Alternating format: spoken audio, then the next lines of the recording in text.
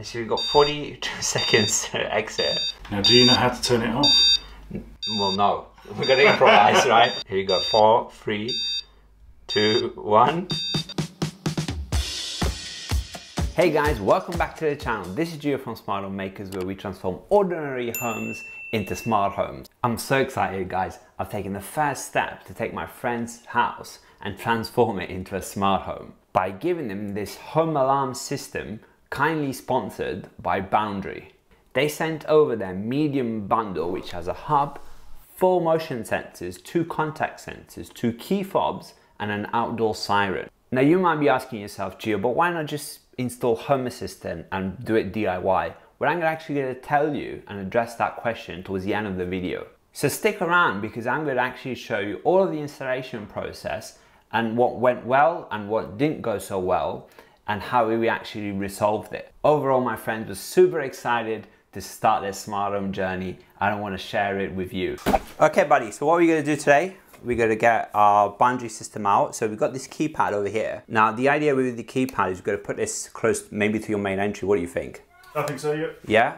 And, and what we'll do is we'll set it up and then we're going to put it in the app. You can get a pin code in and then also you can have one of these little key fobs. So as you can have two of these key fobs and they'll just tap to arm and tap again to disarm. So we'll get this all sorted. So we're gonna put a couple of these motion sensors around. So we've got two ways to put them in. Like we can either put them with sticky tapes or we can like drill them in. So maybe we'll have like one over there. I don't know, we'll figure it out now. We'll, we'll just go around the house and think about it. And then we're gonna have a couple of contact sensors. And so basically you have two of these guys. So these have got these little battery things that we need to just pull out and we need to put these on the door. Um, and then what they do is it's got like a bit of a magnet thing. So when you separate them out, you know, it's open and closed. So we're gonna put them on, on the two external doors. And then the big one is going to be the outdoor siren. Yep. So apparently this guy actually sounds like a jet aircraft. So I don't know if we're gonna test it out or not. sounds a bit crazy, but basically, yeah, we've got the spirit level to Right. put it up uh, nice and straight. And this is battery powered. Um, hopefully it's going to last a few, couple of uh, couple of years, but you know we'll figure out. Uh, yeah, so we'll put this up, and we've got also all of the fixing, basically for everything uh, else. The hub is your central point, and that needs to be located somewhere where you have good Wi-Fi reception. Once you've connected the hub to Wi-Fi, then all of the other sensors will connect via Z-Wave back to the hub. The hub needs to be mains powered, but it also has a battery. It's got 12 hours of backup power. And the cable is a USB-C cable, which you can get of any length, but you'll get one provided in the box. Okay, so now let's get into the installation. So centre of centre, so I just need to work out where my cable is going to come through um, and then mark out my fixings for the rest of the adapter. All right, cool. Okay, so I've measured the, the centre of my area. Um, uh, there's where the centre of the centre of the box is. So I just know that the cable is going to be coming through here. And then I can mark up my fixings. Okay, so we've got the cable through the wall for the power. Um, so we just need to make sure that's at the bottom so that the hole behind's not visible. And we'll just go ahead and mark up where we want to put our fixings. And the important thing to remember is to always tap your raw plugs home to get the flattest possible fixing. So just make sure you've got enough cable through the other side, um, pop that in there and then clip this in place. Oh, it's installing, I haven't clipped it in yet. Pressure's mounting, right? Uh-huh. There you go. One on, clip, clip, push. Whoa, that's looking good. Okay guys, so once it's powered up, uh, initialized, and then you're gonna need to select your Wi-Fi network and punch in your password. This over here doesn't look like, but it's a touchscreen. Actually, it's quite responsive, and you can see it moves up a lot. See the Wi-Fi symbol over here. You can also see the battery over here, so you can see the battery is charging. But in case of a power outage, it will go down. All right, so the firmware is updating now. So it's going to be downloading the new version. Okay, so we rebooted. You've got a pairing code over here. And now we just need to set up the app. So go into your app store, download the Boundary app, and then we're gonna go for, I think gonna go for the setup, right? Set up Boundary system. Okay, so once we put the your address information in, uh, you've got two options. So you're either installing it yourself or you book the pro installation. Uh, we're installing it ourselves, so let's tap that. So now let's just punch in that pairing code that you'll see on the display uh, like this one over here. Okay, so once that's in, now this is an important one. You're gonna need to create a pin code, which is gonna be your master pin to arm and disarm. So be really careful. Obviously don't share that out with anyone else. Awesome, so once that's done, you feel free to go and set up rooms as you wish, depending on how many sensors you've got. Uh, we've got to figure that part out. Uh, but we can see over here, the actual panel actually goes and says, ready to pair sensors. Can I do it? Right. Oh, that always feels good. okay, so we're gonna add these contact sensors on right now. So first thing, we need to get access to our QR code, which is just here, I think. Right, nice. So let's get the app. You need to set up a room first, and once you've done that, we can just scan the QR code. Nice one. There you go. So at that point, we need to pull the battery tab out quite quickly. And let's see if it's powering. We've got a blue, blue thing powering. Let's see if it's gonna connect to the hub. Yay, so it connected up. So that took maybe 20, 30 seconds, and don't fear. All right, nice one. So let's just tap on continue. Okay, so we'll give this a name. But important thing to note that we need to add the on entry on exit route. So if this, basically if you have to get um, to and out of your house through one of these sensors, and same for the motion sensors, you need to turn it on. So I think we need to toggle it on, right? Because we've got it on our front door, yeah? We want to put it up the right way around, because if not, it's going to be quite difficult to pull out uh, the batteries when you need to change it. Yeah, so the big part on the frame and we're going to put the little part close to it. Yeah, that's quite cool. I don't know if you want to tuck it in a bit more.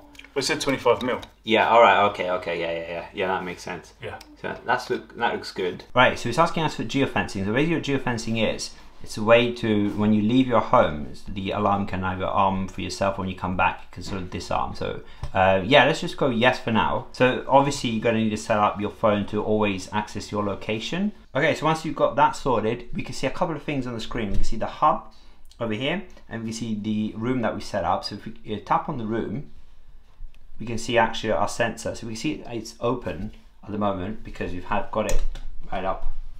We're missing a part over here. So let's see, let's see if we can put it back in and if it actually goes to closed.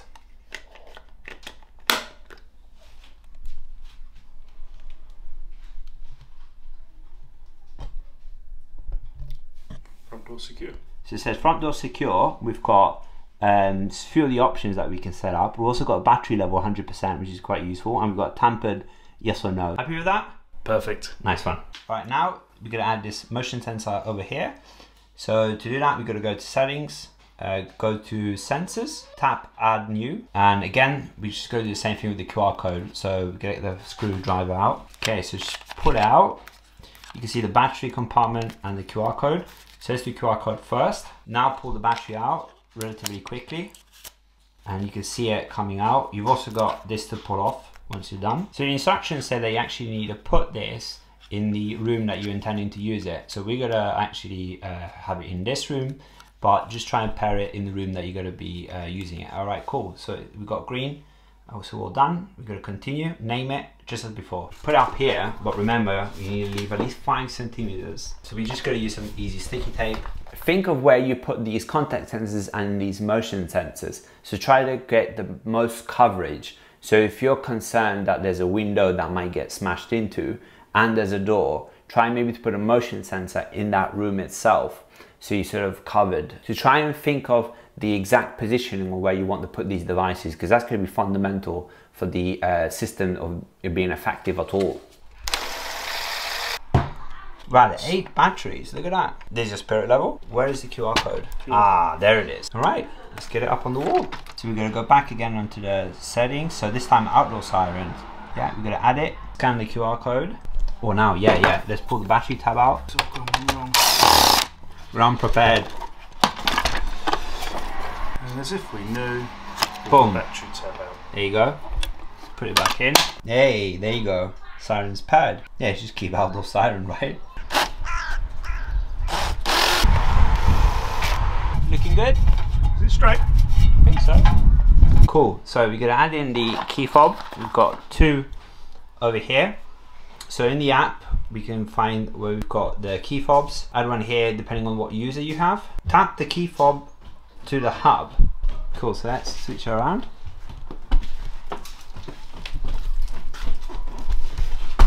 It's actually saying scan for the key fob. So what we'll do is, as it is, So we can clear that because that's something we were doing here when we put the siren on. Do you want to arm um, the alarm? Yeah, let's continue. And so we've got 40 seconds to exit. Now siren's gonna go off. The door's closed. How loud it's gonna be for some intruder, right? When they're inside the house. Yeah. Let's see if this gonna scare them off. Now, do you know how to turn it off? Well, no. We're gonna improvise, right? And so we've got 40 seconds to exit. Hopefully with the fob, we'll just tap on it. Maybe you're gonna need to put the code in, so you're gonna need to be fast, right? Are you ready? Very fast. Alright, so we've got 10 seconds to go. Just put a bit of an anxiety on, yeah? Here we go. Four, three, two, one. Alright, the alarm has been armed. We're not moving yet. So if we move, the motion is gonna go off. Open the door. Enter pin to disarm. So we've got another 40 seconds. Um, so this is like when you come back home. So you got amount of seconds to disarm. And I guess that you can also disarm the fob, but we want it to go off now. Yeah. Yeah. Potentially, we need to find out if we can change it in the settings how long Yes. it is between it going off or not. Yes, 40 seconds is quite a long time. I've already got the telly off the wall, but You really got the telly off the wall. laptop's in the pocket. there you go.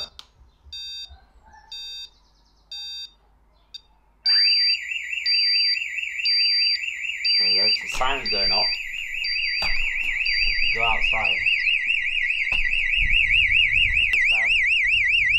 Yeah. Alright, so let's. Oh man. So we tested the alarm, we're quite happy with it. So what's happened is we've got this tamper detected message that we can't get rid of. It must be something we're doing wrong. So we're probably going to need to unclip it again. If not, I'll probably reach out to Boundary and understand what's going on. And we couldn't understand why. Now, re-reading the instructions, as I said, we didn't really read them properly at the beginning. We actually spotted that if you tighten the screws too much on the hub, this will cause the tamper detection to kick off. So if this is happening with you, it's quite an easy fix. You just need a little bit untighten the screws and then reclip the hub onto the frame and then that message will disappear and it will not come back and it hasn't come back since. That's what my friend reported. The second thing that happened was one of our contact sensors didn't quite pair properly and that is because we pulled the battery tab out before scanning the QR code in the app which isn't what the instructions say. But this might happen to you as you just instinctively pull it out when you see it. So I contacted customer service as soon as I got home to ask about this contact sensor. I really thought it was defective. But to be fair, in literally nine minutes of raising a support call, I got an email back and it was fantastic. I had all of the instructions of what we needed to do to fix it. And to be fair, they actually fixed it remotely for us and it was all working. It's really impressive customer service from what I experienced. Let's talk about the smart features. You can arm and disarm this alarm from the app, which is great. You can use geofencing depending on what subscription service you have to automatically be notified if you've left the home with the alarm off. You can integrate with your voice assistant from Amazon and from Google. You can also get it integrated in a home assistant, but via SmartThings that will get improved upon very soon. Overall, I have to say my friends are really, really happy with their system. It is working really well. The hub is responding very well. We did a test and the sensors activated very quickly. And overall, we're very, very happy with it. So how much does this actually cost?